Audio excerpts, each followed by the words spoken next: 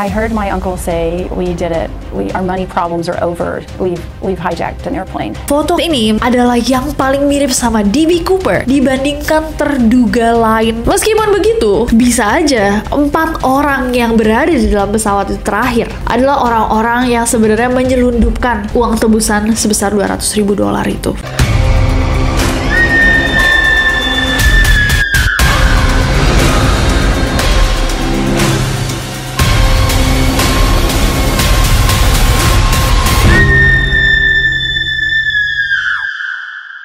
Hey guys, it's Nessie and welcome back to Neror. Kalau kalian belum subscribe ke channel ini, coba join jadi Neroris, terutama untuk kalian yang suka misteri. Misteri yang kita bahas malam ini adalah salah satu pembajakan paling misterius di sejarah. Seorang pria bernama Dan Cooper, yang namanya tuh akhirnya salah gitu diberitakan jadi DB Cooper, membajak satu pesawat tanpa penumpang lainnya tahu bahwa pesawat itu dibajak dan berhasil mendapatkan uang tebusan sebesar 200 ribu dolar atau setara dengan 1,2 juta dolar sekarang atau 17 miliar rupiah. Sudah puluhan tahun kasusnya tetap menjadi salah satu misteri terbesar dari Amerika Serikat. Langsung aja, malam ini di Neror kita akan bersama-sama membahas pembajakan DB Cooper. So without any further ado, stop sium-sium. Cause shit's about to go. Kurang dari 5 menit setelah mereka terbang lagi, Dan langsung minta Tina untuk masuk ke ruang kokpit dan mengunci kokpitnya dari dalam. Dan terakhir kali Tina melihat Dan adalah dia ngeliat si Dan ini berdiri di tengah lorong pesawat mengenakan salah satu parasut. Diperiksalah semua saksi, diperiksalah semua orang dan tempat-tempat catatan-catatan apa pun yang berkaitan sama Dan Cooper ini semua dicek guys. Bertahun-tahun dicoba dicari dari sketsa yang sudah dibuat, masih tidak ada satu orang pun yang mengenal guys siapa si Dan Cooper ini. Sebelum kita ngomongin siapa aja terduganya, fun fact. Jadi pada saat itu, saking besarnya kasus ini dan saking tidak bisanya FBI, kepolisian, dan semua lembaga-lembaga besar dalam memecahkan misteri DB Cooper, kepolisian itu mendapatkan banyak sekali ejekan, guys. Bahkan banyak banget surat-surat yang dikirim nih ke surat kabar-surat kabar yang ngaku-ngaku sebagai Dan. Surat-surat yang berisikan kayak, Tuan-tuan, saya tahu dari awal bahwa saya tidak akan tertangkap. Saya akan melakukan kejahatan ini, melakukan kejahatan itu, melakukan kalian juga nggak akan bisa nangkep saya, basically kayak gitu. Nah, tapi ada salah satu surat yang dikirim ke New York Times yang dirasa paling mencurigakan. Surat ini kayak surat-surat lainnya, mengejek juga kepolisian. Tapi dari surat ini, tim FBI itu menemukan ada beberapa kode rahasia. Jadi ada beberapa huruf yang di-highlight dalam surat ini, termasuk kode angka 717171684.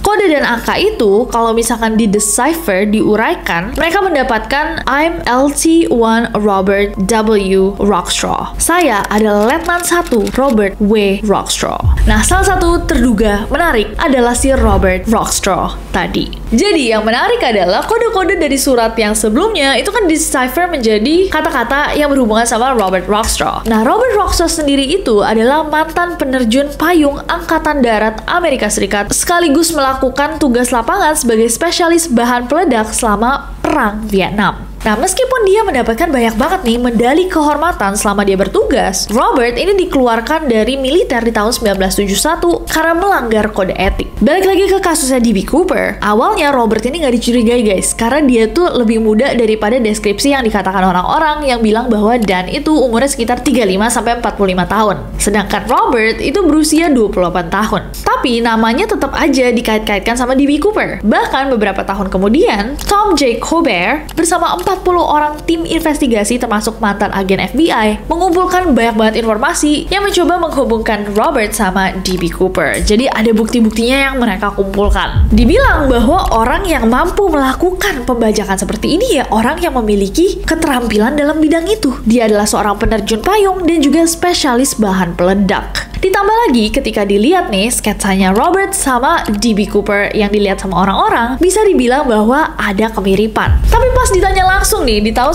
1978, Robert itu malah kayak bercanda gitu guys. Ditanyakan apakah dia DB Cooper, dia malah kayak ah bisa jadi, bisa jadi. Nah walaupun dia udah diperiksa, Robert tuh terus membantah tuduhan ini. Dan pada akhirnya dia cuma mengatakan bahwa dia ini hanyalah seorang veteran yang cacat dan dalam interogasinya di tahun 2019, Robert mengatakan bahwa dia tuh sebenarnya takut ketinggian dan di akhir hayatnya dia masih ditanyain guys tentang Cooper skyjacking dan dia menyebutkan bahwa kayaknya dia adalah satu-satunya orang yang bisa menutup kasus ini. Malah rada questionable ya itu statement akhirnya itu ya. Tapi sampai dia meninggal pun ya dia nggak pernah dikonfirmasi sebagai Dan Cooper atau DB Cooper yang asli. Tapi ada dugaan-dugaan bahwa dia tuh bisa lolos gitu loh dari kasus ini karena dia bersekongkol dengan CIA dan membuat FBI mundur dan menghalangi penyelidikannya. Sebentar Neroris, aku tahu ada beberapa dari kalian kayak fix itu dia fix fix Robert adalah Dan.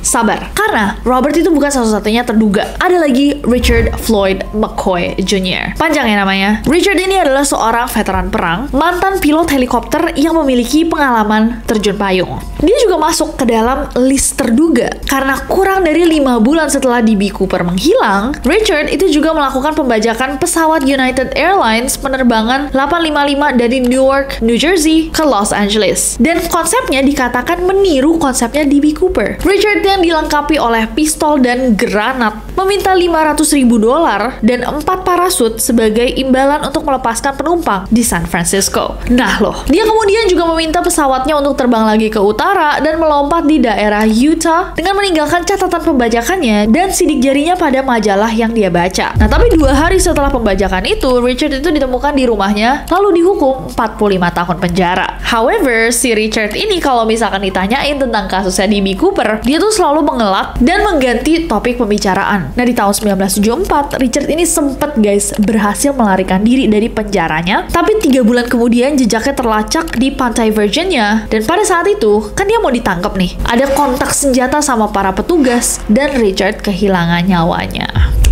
Tapi apakah dia DB Cooper atau dia terinspirasi aja sama DB Cooper yang asli? Gimana menurut kalian? Coba komen di bawah.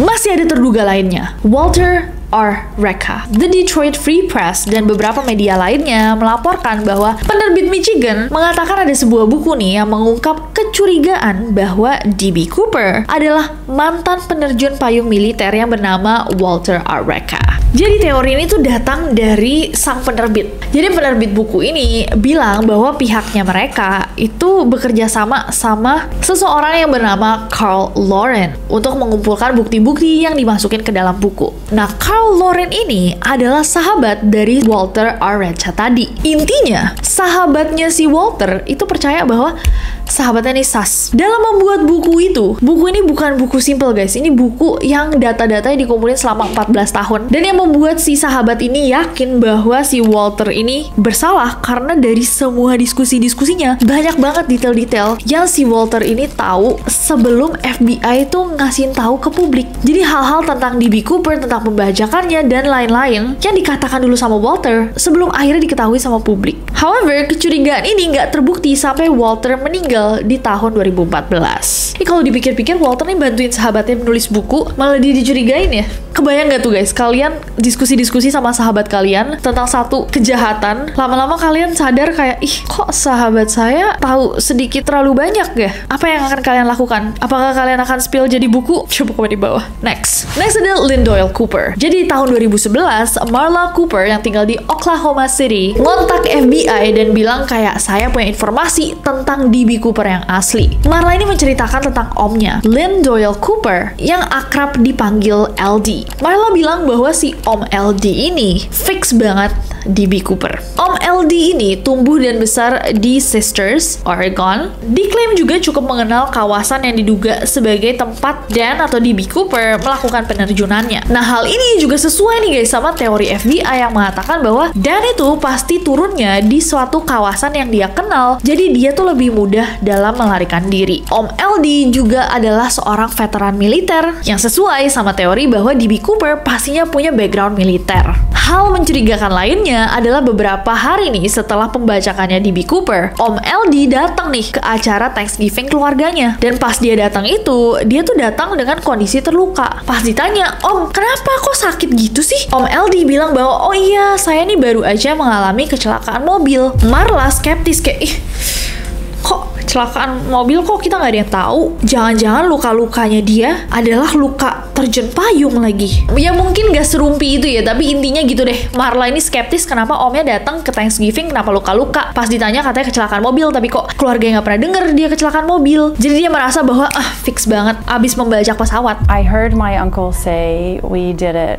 We our money problems are over. We've we've hijacked an airplane. Karena informasi dari Marla ini cukup menarik guys, sama FBI pun dites guys, dan ternyata DNA antara DB Cooper sama Om LD tidak cocok. Walaupun begitu, FBI masih merasa bahwa teorinya Marla itu lumayan menarik, cukup masuk akal. Tapi nggak ada perkembangan dari pencarian antara Om LD dan DB Cooper sampai akhirnya Om LD meninggal di tahun 1999. Rest in peace. Next ada William Pratt Gossett. Tahun 2008, ABC News melaporkan bahwa seorang pengacara dan peneliti mengatakan bahwa William Pratt Gossett, seorang veteran tentara dalam Perang Korea dan Perang Vietnam, itu adalah D.B. Cooper. Dia memiliki pengalaman militer, punya pengalaman terjun payung, bahkan dia punya pengalaman bertahan hidup di alam liar. Dan bisik-bisik tetangga katanya dia pernah memberitahu teman dan ketiga anaknya bahwa dia adalah D.B. Cooper. Nah, ada seorang pengacara yang ngumpulin nih bukti-bukti yang menghubungkan William sama D.B. Cooper selama bertahun-tahun guys. Dan katanya William ini pernah kasihin kunci ke anaknya, anak cowoknya. Kunci ini adalah kunci dari kotak deposit di Vancouver, British Columbia yang diduga memiliki uang tebusan yang diminta sama D.B. Cooper. Dikatakan juga bahwa William ini sempat nunjukin anaknya, anak sulungnya, setumpuk uang misterius sebelum Natal 1971 yang berarti berapa minggu setelah kasus pembajakannya D.B. Cooper. Tapi uang setumpuk itu katanya guys habis dipakai di Las Vegas.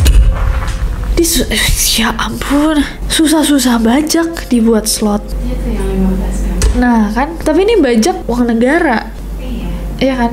Mending baca uang negara apa uang penonton? Nah, betul. Baikan DB Cooper dia nurunin civilians, dia nggak merugikan masyarakat sipil, guys. Setidaknya dia ngambil 200 ribu dolar, habis itu kalau misalkan bener ya dia William dihabisin buat slot. Bukan 15 M tiket Coldplay, 2 M tiket Taylor Swift, dibuat beli Hermes sama slot. Nggak kebayang sih kalau ada orang kayak gitu ya. Nggak kebayang banget. Tapi nggak mungkin gak sih ada orang kayak gitu? Enggak sih. Nggak mungkin. Orang Indonesia paling nggak mungkin. Dia Gak kan mungkin.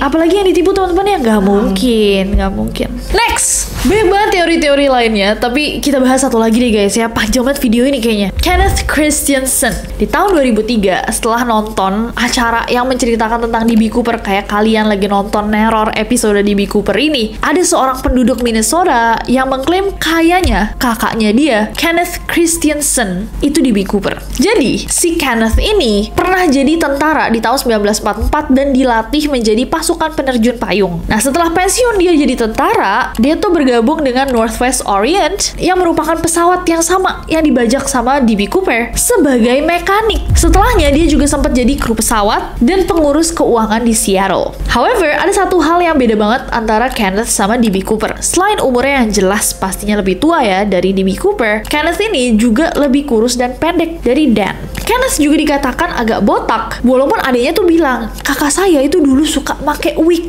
rambut palsu. Tapi setelah kasus pembacakannya DB Cooper, dia tiba-tiba nggak mau pakai rambut palsu lagi. Kenneth juga dilaporkan membeli rumah mewah secara tunai beberapa bulan setelah kasus pembajakan DB Cooper. Di tahun 1994, saat dirinya kritis kena kanker, Kenneth ini juga sempat manggil adiknya kayak, ada sesuatu yang kamu harus tahu, tapi dia tidak bisa menyampaikannya. Dan setelah Kenneth meninggal guys, keluarganya dikejutkan dengan menemukan koin-koin emas, koleksi perangko yang mahal-mahal banget, dan uang 200 ribu dolar di rekeningnya. Pihak keluarga juga nemuin clipping-clipping koran tentang Northwest Orient dimulai dari zaman Kenneth direkrut di tahun 1950-an sampai kasus pembajakannya DB Cooper. Nah, pas salah satu pramugari yang waktu itu juga ada di dalam pesawat yang dibajak sama DB Cooper ditunjukin di fotonya Kenneth, dia bilang sama wartawan bahwa foto Kenneth ini menurut ingatannya dia adalah yang paling mirip sama DB Cooper dibandingkan terduga lain yang pernah dia lihat fotonya. Meskipun begitu, teori ini walaupun segila itu malah bikin FBI kurang yakin karena katanya ya ciri-cirinya nggak cocok serta nggak ada bukti langsung jadi ini jatuhnya bersifat menuduh. Tapi guys dari semua terduga menurut kalian siapa yang paling kayak kayaknya dia deh. Coba kalian komen di bawah.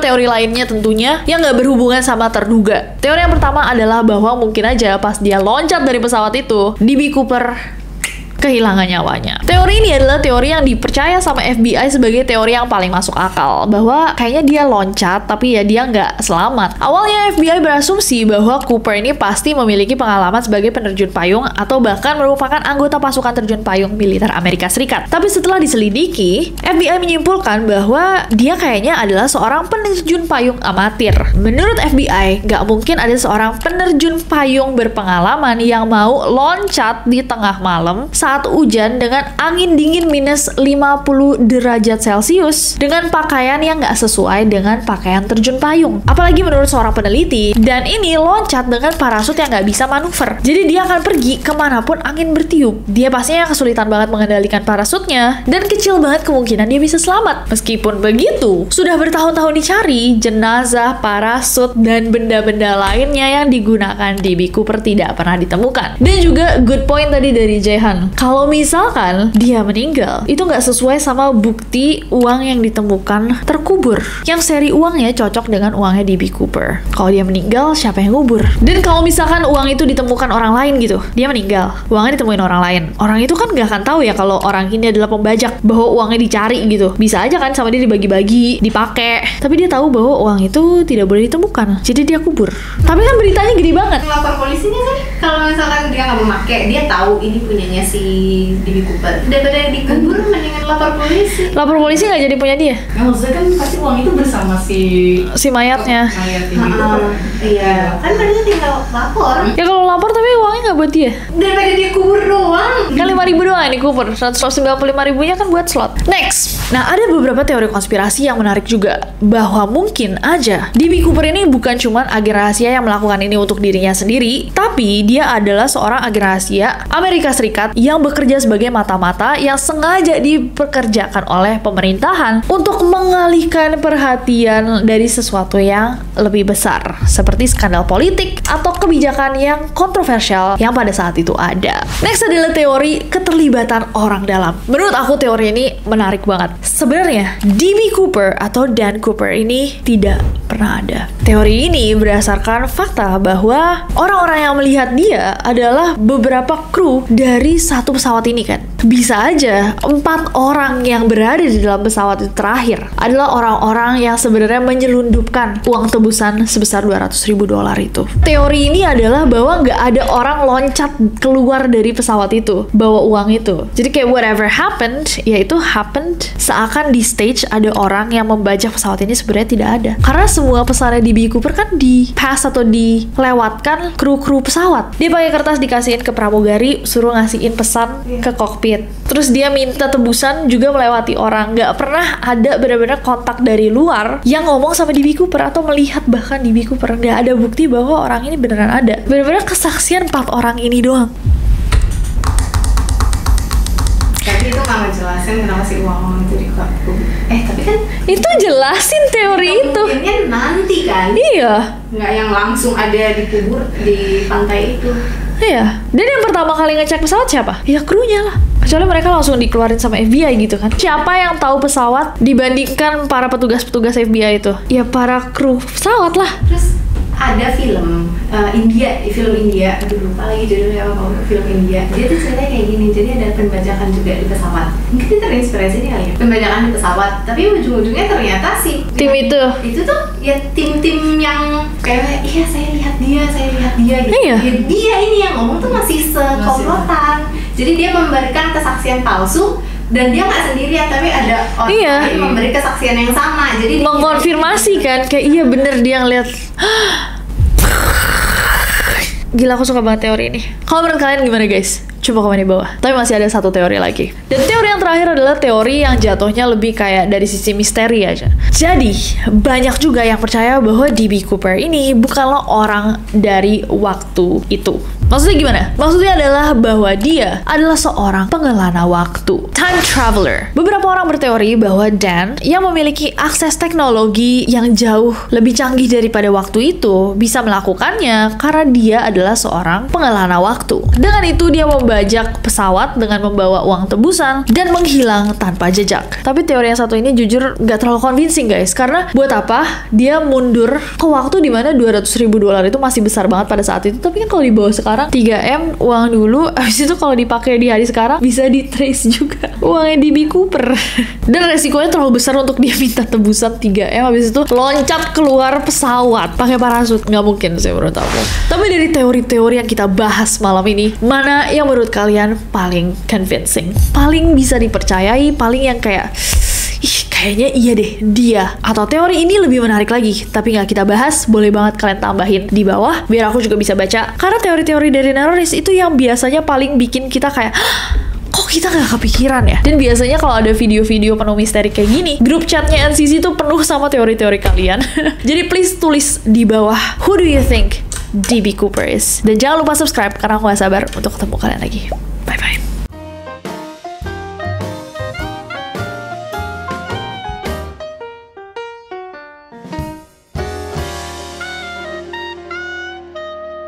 Pas ditanya, eh Om LD, kenapa? Paman gitu. Dia ngobrol-ngobrol tentang pembajakan ini, terus dia kayak, ih lu kali gitu.